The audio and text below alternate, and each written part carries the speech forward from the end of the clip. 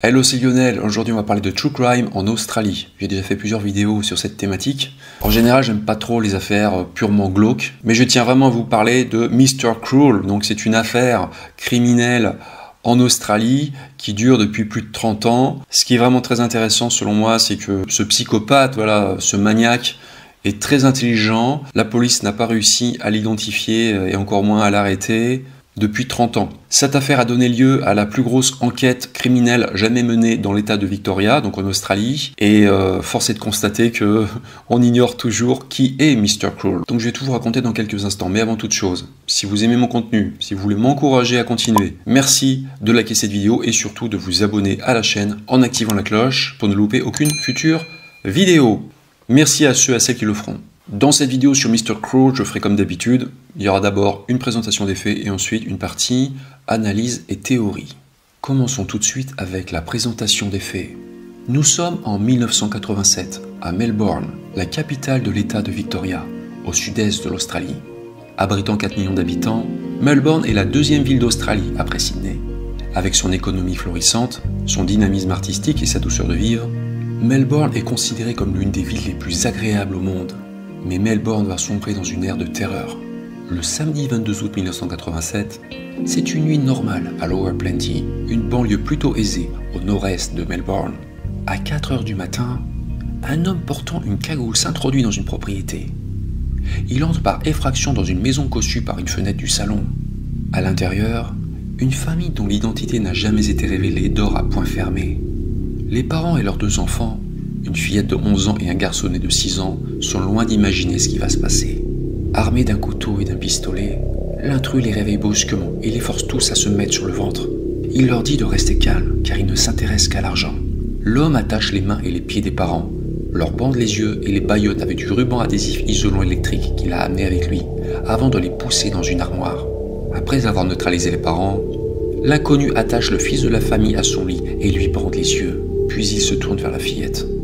Pendant deux heures, cet homme va lui faire perdre son innocence. L'homme allume la radio et met le volume à fond pour couvrir les cris de l'enfant. Et ce pervers a une énorme confiance en lui. Il prend tout son temps. Il fait des pauses et il se prépare même un repas dans la cuisine familiale. Une fois qu'il en a terminé avec la fillette, l'homme lui fait prendre un bain, lui coupe les ongles et lui fait se brosser les dents pour s'assurer qu'il ne laisse aucun indice derrière lui. Au petit matin, l'homme quitte la maison aussi tranquillement qu'il y était entré. Il laisse derrière lui une famille traumatisée qui sera finalement libérée par la police. Les officiers vont mener une enquête qui se révèle difficile, car cette famille n'avait aucun ennemi. De toute évidence, la fillette était la seule cible de l'agresseur. C'est elle qu'il voulait. Même s'il a emporté avec lui quelques objets comme des disques vinyles, le vol n'était pas le mobile. La police va présumer qu'il s'agit d'une agression commise au hasard, mais on peut en douter parce que l'agresseur était ultra organisé. Il n'est pas rentré par une fenêtre laissée ouverte, non il a méthodiquement enlevé une vitre. Les enquêteurs ne parviennent pas à identifier l'auteur de l'invasion de domicile car il n'a laissé quasiment aucun indice derrière lui. La seule chose dont s'est souvenue la fillette, c'est qu'à un moment donné, son agresseur a utilisé le téléphone de la famille. Il a passé un coup de fil et apparemment a menacé une autre famille. L'homme a prévenu son interlocuteur, qui l'appelait Bozo, que ses enfants seraient les prochaines victimes. C'est très inhabituel donc, mais le plus étrange va suivre. Quand la police va examiner les relevés téléphoniques de la famille, ils vont se rendre compte qu'aucun appel téléphonique n'a été passé depuis le téléphone de la maison cette nuit-là. Autrement dit, l'agresseur a fait semblant de passer un coup de fil. Il a brouillé volontairement les pistes. C'est un fait. L'agresseur de cette malheureuse fillette a disparu dans la nature et on n'entend plus parler de lui. Jusqu'au 27 décembre 1988. Vers 5h30 du matin, un individu entre dans une maison de Ringwood, une autre banlieue tranquille de Melbourne. Et le type est malin. Il fait tomber la clé restée dans la serrure et la récupère à l'aide d'un journal glissé sous la porte. Dans la maison, la famille Wills dort profondément. Vêtue d'une salopette bleu foncé et portant une cagoule sombre, l'intrus va dans la chambre des parents, John et Julie Wills, et pose une arme à feu sur la tente du père de famille. Donc là, John Wills se réveille brusquement et il entend dans son oreille Ne joue pas au héros. L'inconnu attache aussitôt le couple avec du fil de cuivre il les allonge face contre terre sur leur lit. Il vole 35 dollars sur la table de chevet, mais le vol n'est pas la raison de sa venue dans cette maison. Après avoir coupé toutes les lignes téléphoniques, il se rend dans la chambre où dorment les enfants des Wills. Annette, qui a 5 ans, Robin et Linda, deux jumelles de 8 ans, et Sharon, âgée de 10 ans. le prédateur est visiblement venu dans cette maison pour elle. Il bâillonne, prend Sharon et tous les deux quittent la maison avec quelques vêtements de la fillette. Un peu plus tard, Monsieur et Madame Wills parviendront à se libérer de leurs liens dans leur chambre. En état de panique, ils appelleront tout de suite la police pour signaler le kidnapping de leur fille. Par la suite, les heures défilent, on est toujours sans nouvelles de Sharon. Et ses parents imaginent le pire. Je vous raconte pas dans quel état ils sont. Mais 18 heures plus tard, Sharon sera heureusement retrouvée vivante par un passant près du lycée de Bayswater. L'enfant est enveloppé dans des sacs poubelles en plastique vert. Comme la fillette de 11 ans à Lower Plenty un an plus tôt, Sharon Wills a connu l'enfer après avoir été séquestrée dans un lieu inconnu. Courageuse, l'enfant va fournir à la police des détails sur son ravisseur, qui va vite être surnommé par les médias Mr. Cruel. Pourquoi? Parce que selon la police, il est super froid et super cruel. Ce sociopathe entre à l'intérieur des maisons avec une assurance insensée. Il agresse les enfants sous le nez de ses parents et traumatise des familles entières. Parmi les détails que va donner la petite Sharon sur Mr. Cruel, le premier est assez troublant. Mr. Cruel l'a appelé par son prénom Sharon, ce qui pousse certains enquêteurs à croire qu'il la connaissait personnellement. Il se peut néanmoins qu'il ait connu l'existence de la famille Wills et donc de Sharon dans le journal, car cette famille avait été victime d'un incendie de maison six mois plus tôt, et on en avait parlé dans la presse. Mais le détail le plus intéressant va suivre. Sharon a été retenue prisonnière dans un lieu inconnu par Mr. Crew, et elle se souvient avoir entendu des avions de ligne voler et même atterrir. Et ça, ça fait dire aux enquêteurs que l'endroit où elle était enfermée, la maison de Mr. Krull ou une planque à lui, était à proximité d'un aéroport. Mais une nouvelle fois, la police sera tenue en échec, incapable d'identifier et encore moins d'arrêter Mr. Krull. Ce psychopathe prend de plus en plus de risques et devient de plus en plus dangereux. Il n'avait encore jamais enlevé de victime. C'est sans doute un fantasme qu'il a réalisé et on se demande quel sera le suivant. Pendant sept mois, Mr. Krull va redevenir très discret à Melbourne. Mais le 3 juillet 1990, il va frapper de nouveau. Il va frapper dans une autre banlieue tranquille de Melbourne, celle de Canterbury. Cette fois, Mr. Krull vise une maison occupée par une famille britannique, les Linas, qui devaient justement retourner en Angleterre. Ce soir-là, Brian et Rosemary Linas sont absents. Ils sont sortis pour participer à une fête. Et leurs deux filles, Fiona et Nicolas, âgés de 15 et 13 ans, sont seuls dans la maison. Vers 23 heures, Mr. Krull se glisse dans la maison des Linas après avoir cassé une fenêtre. Armé d'un couteau et d'un pistolet, Mr. Krull prend facilement le contrôle des filles. Et comme dans son attaque précédente, il kidnappe Nicolas, la fille cadette des Linas.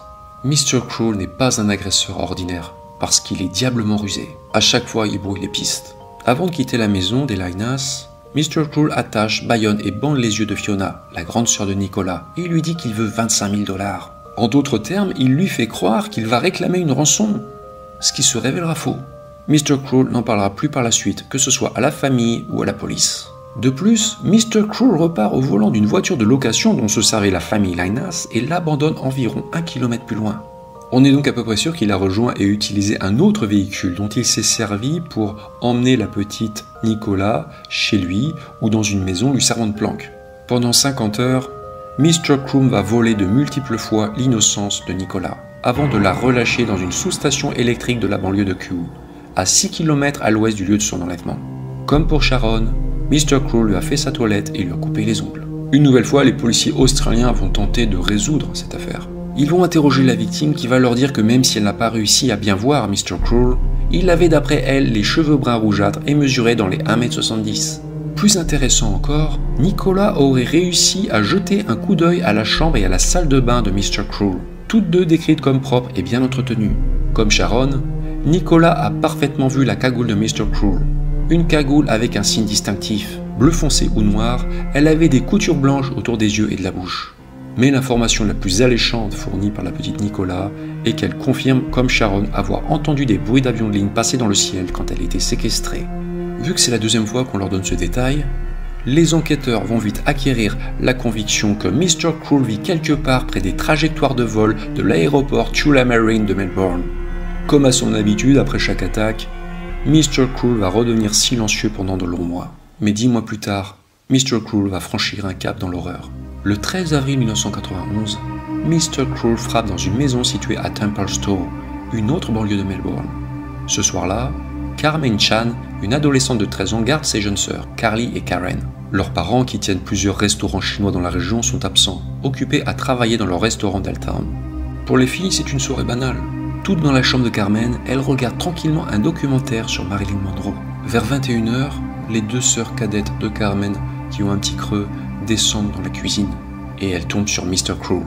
Portant sa tenue habituelle, il tient un grand couteau à la main. Mr. Cruel attrape aussitôt les deux fillettes et les force à rentrer dans un placard.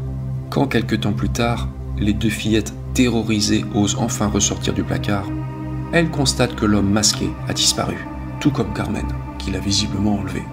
Encore une fois, Mr. Cruel n'a laissé aucun indice derrière lui. On va juste s'apercevoir que quelqu'un, et c'est sûrement lui, a peint à la bombe des graffitis sur la voiture de la famille Chan, une Toyota Camry. Mr. Cruel a écrit les mots. Remboursement, trafiquant de drogue asiatique, plus à venir. Seulement, les policiers australiens ne sont pas dupes. Ils savent très bien que Mr. Cruel est un manipulateur. De toute évidence, il a de nouveau voulu les envoyer sur une fausse piste parce que John et Phyllis Chan, les parents qui avaient émigré de Hong Kong en Australie en 1976, n'avaient pas de rivaux commerciaux sérieux et personne ne voulait leur faire du mal. Quelques jours plus tard, Monsieur et Madame Chan participent à une conférence de presse émouvante au cours de laquelle ils supplient le ravisseur de leur fille de la relâcher. À ce stade, les policiers et tous les médias australiens ont compris que Mr. Cruel est vraiment un criminel hors norme. Et il semble évident qu'il va être très difficile de l'arrêter. En mai 1991, les autorités semblent réaliser qu'ils ont un sérieux problème et ils mettent enfin le paquet pour tenter d'arrêter Mr. Cruel.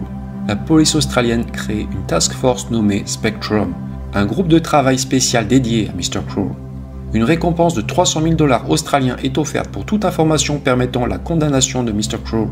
Des flyers sont distribués auprès de la population, de grandes affiches sont placardées dans les lieux publics, mais les énormes moyens déployés se révéleront inutiles.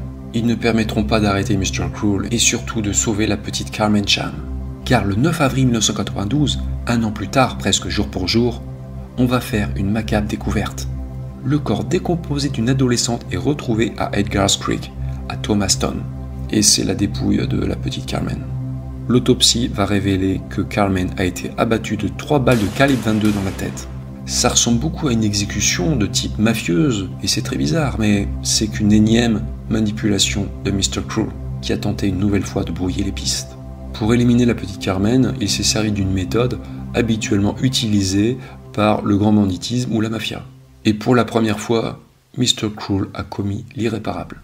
Et on peut se demander s'il n'a pas réalisé un nouveau fantasme. Rappelez-vous l'escalade de ses actions depuis le début de cette affaire. Peut-être, mais une autre explication paraît aussi plausible.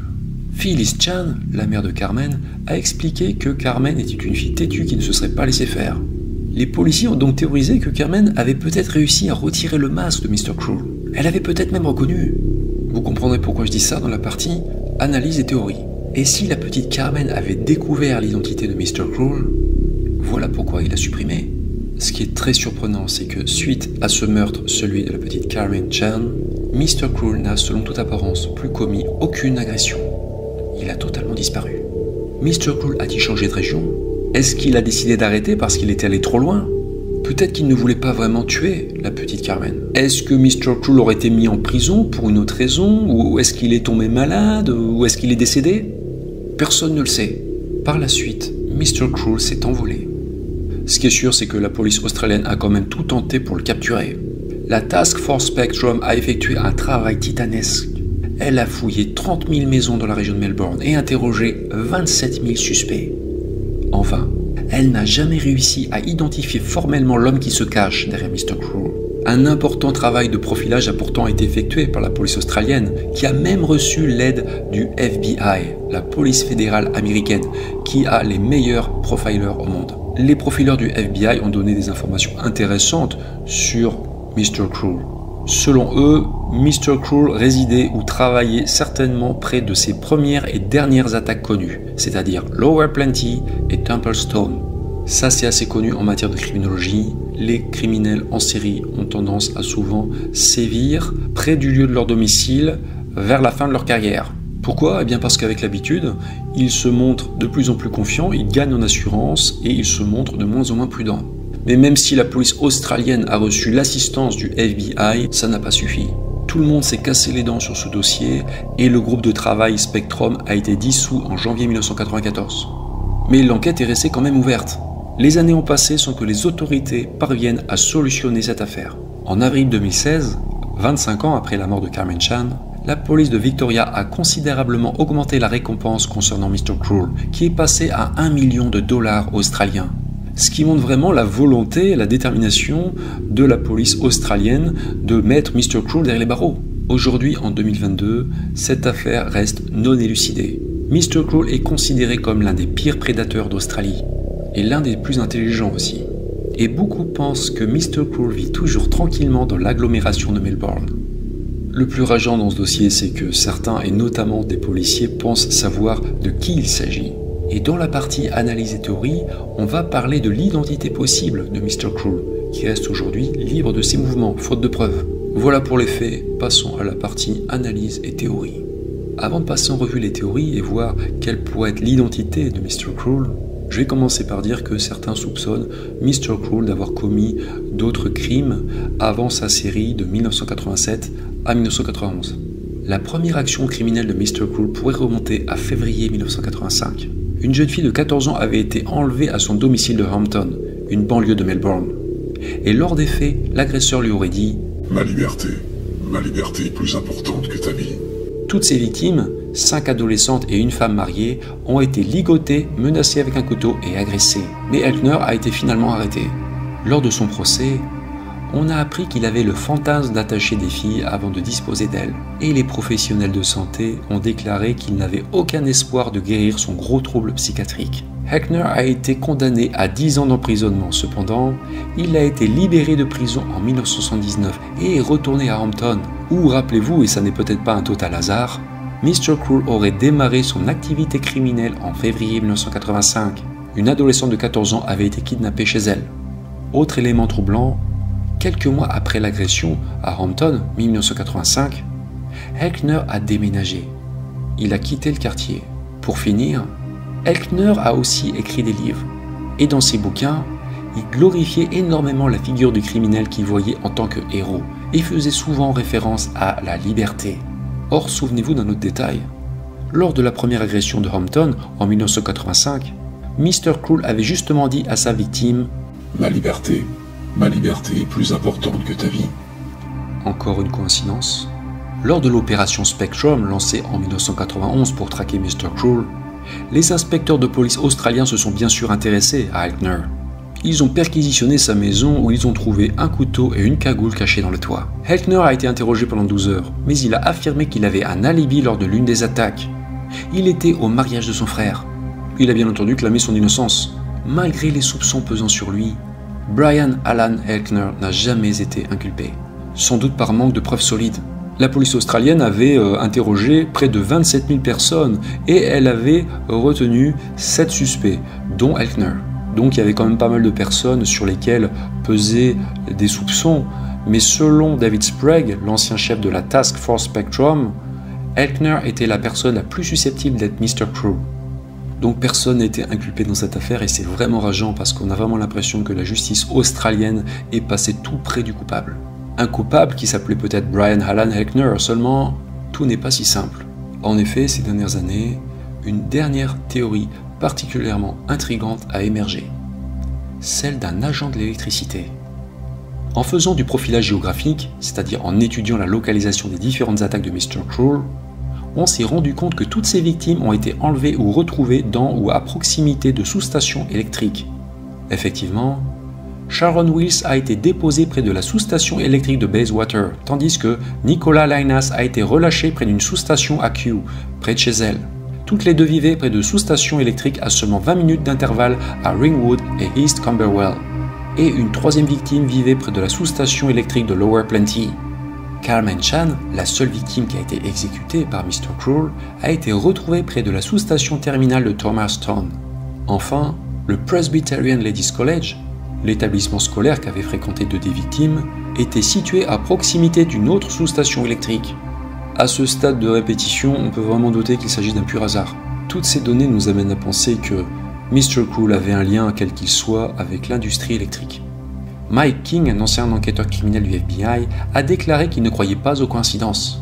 Et il y a aussi des raisons absolues pour lesquelles il a sélectionné ces victimes précises. Selon Mike King, Mr. Cruel aurait pu travailler ou se faire passer pour un employé d'une sous-station électrique ou bien vivre à proximité. Ça expliquerait pourquoi il a sélectionné ces victimes précises et aussi pourquoi il les a relâchées dans ces endroits. Donc voilà, cette dernière théorie qui est vraiment intéressante pourrait bien faire voler en éclats les autres qui étaient pourtant assez prometteuses, notamment celle de l'enseignant. Donc cette affaire est vraiment très frustrante parce que même si elle a donné lieu à la plus grosse enquête criminelle jamais menée dans l'état de Victoria, Mr. Cruel n'a jamais été identifié ou encore moins arrêté. Cette affaire est non élucidée depuis plus de 30 ans maintenant. Le pire, c'est que beaucoup pensent que Mr. Cruel est peut-être en train de couler une retraite tranquille, toujours à Melbourne. Et pour moi, cette affaire est vraiment passionnante parce que euh, on a affaire vraiment à un criminel qui n'a commis aucune erreur et qui ne sera peut-être jamais inquiété. Donc là, tous les cas de figure sont possibles. Peut-être que Mr. Cruel a déménagé euh, parce que voilà, ça devenait trop chaud euh, pour lui de rester à Melbourne. Peut-être qu'il est parti ailleurs au début des années 1990. Peut-être qu'il a décidé volontairement d'arrêter sa carrière criminelle aussi. Peut-être qu'il s'était dit qu'il était allé trop loin en ôtant la vie euh, de la petite Carmen. Ou alors peut-être qu'il a été contraint d'arrêter pour une raison externe. Il est peut-être décédé tout simplement. Peut-être qu'il a eu un accident de voiture fatal ou une maladie grave, vous voyez. Donc tout est possible, tout est possible. En tout cas, la police australienne le recherche plus que jamais. Donc voilà, c'était l'affaire Mr. Crow. J'espère que ça vous a intéressé. Si vous avez aimé cette vidéo, je vous invite à découvrir toutes les autres vidéos que j'ai fait dans le domaine du true crime en Australie. J'ai créé une playlist spéciale qui va apparaître en haut à droite de votre écran. Donc voilà, je vous laisse. Donc si vous aimez vraiment mon contenu, euh, je vous invite à mettre un pouce en l'air et aussi à vous abonner. Voilà. Merci à vous. Vous retrouverez bientôt euh, d'autres énigmes criminelles et surtout des disparitions mystérieuses en France et dans le monde. Les disparitions mystérieuses, ça reste l'ADN de ma chaîne. Donc je vous laisse, portez-vous bien, je vous dis à bientôt pour de nouveaux mystères et en attendant, vous connaissez la suite.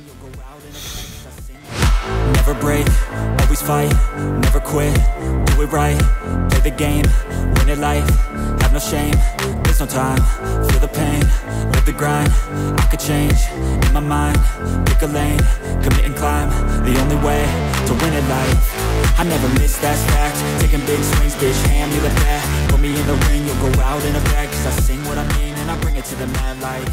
Ain't got time to kill, I got time